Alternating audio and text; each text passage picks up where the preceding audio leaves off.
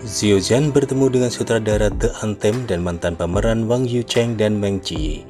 Baru-baru ini media gosip memotret salah satu pemeran utama dan sutradara drama The Anthem, Xiu Dan dan Cheng Qiling untuk makan malam di sebuah restoran di Hengdiang. Setelah selesai, Xiu Zhan pergi lebih dulu, kemudian disusul oleh Cheng Jialin, Meng Ji dan Bang Juo Cheng, dan yang lainnya keluar dari restoran dan pergi dengan mobil. Dikabarkan Xiu Jian dan Chang Ying memimpin kru dan lainnya untuk makan malam pada saat itu.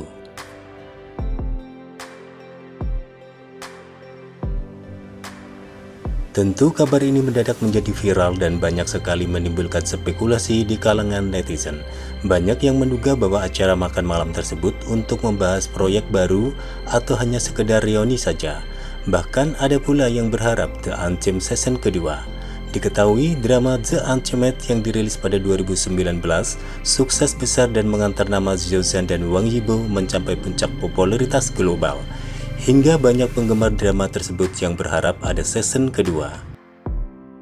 Apalagi karisma Zhou Zhan yang begitu besar membuat banyak penggemar tergila-gila dengan aktor tampan tersebut.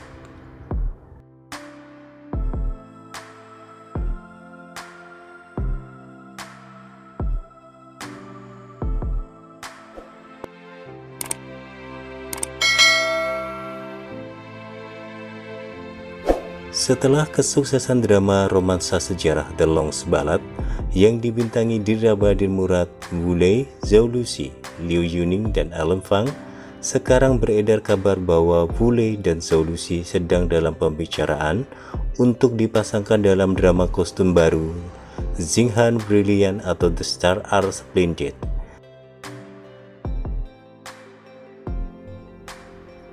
Jika benar Zhou Luxi akan memainkan peran putri, sang jenderal yang pemberontak dan fasih.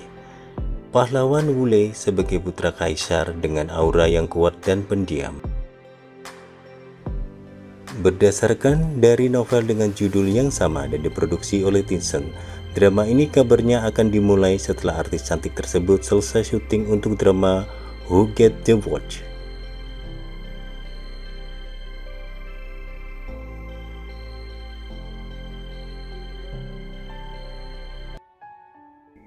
Sementara itu beberapa media telah mengambil foto dan video Xiuzhan dan Zhang Zi yang sedang masuk dan makan malam di sebuah restoran di Hengdian. Tetapi foto tersebut tidak diambil kamera pada saat yang sama untuk menghindari kecurigaan. Aktor tampan Zhu Jian dan asistennya datang lebih awal ke restoran, mengenakan pakaian hitam dan celana panjang hitam, mengenakan topi dan masker dibalut sangat erat. Berjalan tergesa-gesa sepanjang perjalanan tampak penuh kesadaran banyak paparazzi. Dan segera setelah itu, artis cantik Zhang Xi juga muncul dengan asistennya. Setel yang sama memakai masker, mengenakan topi nelayan putih, meletakkan tangannya di dada dan mengikuti asisten tersebut ke restoran. Setelah mereka berdua selesai makan, Xiaojian dengan sangat cepat masuk ke dalam mobil asisten dan setelah Xiaojian pergi, Zhang Zi juga meninggalkan restoran. Keduanya telah berkolaborasi dalam drama The Art of Love yang sangat dinantikan oleh pecinta drama China. Setelah sekian banyak rumor tayang drama tersebut, rumor terbaru menyatakan bahwa drama Child akan tayang pada musim panas Agustus 2021 karena drama tersebut masuk dalam daftar drama mendatang. Dalam berbagai berita written dapat dilihat bahwa keduanya memiliki hubungan yang sangat baik. Diketahui keduanya juga merupakan King and Queen Weibo 2020. Hal ini membuat Sheenet berspekulasi bahwa drama mereka The Art of Love akan segera hadir.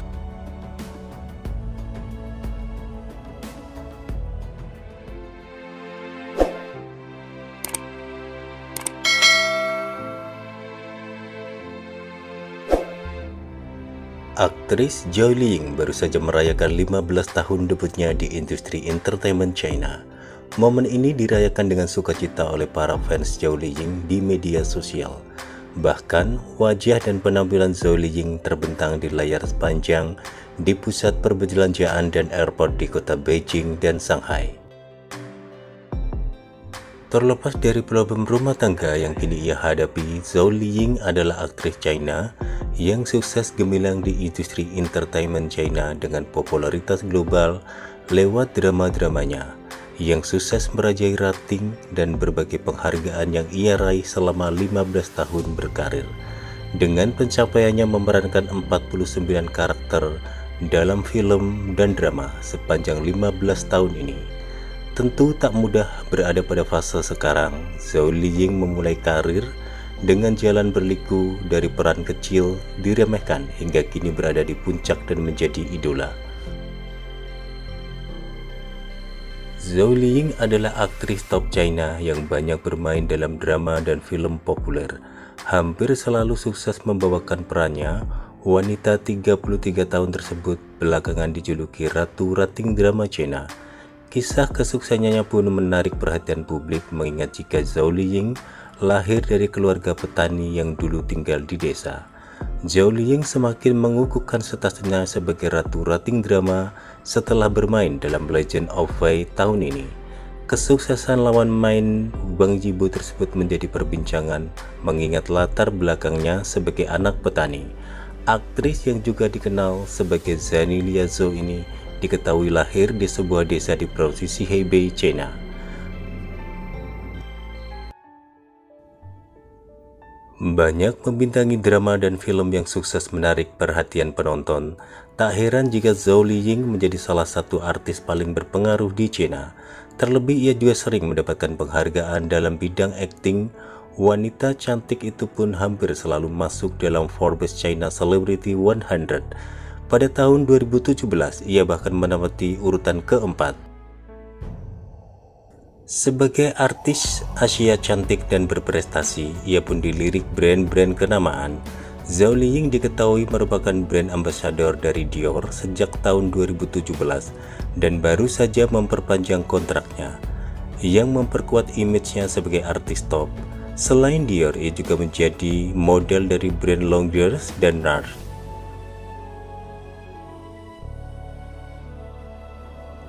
Tahun ini Zhao Liying menjadi pengisi suara di film animasi raya The Last Dragon versi China. Dalam film Disney yang terinspirasi dari kebudayaan Asia Tenggara tersebut, ibu satu anak ini mengisi suara pemeran utamanya Raya.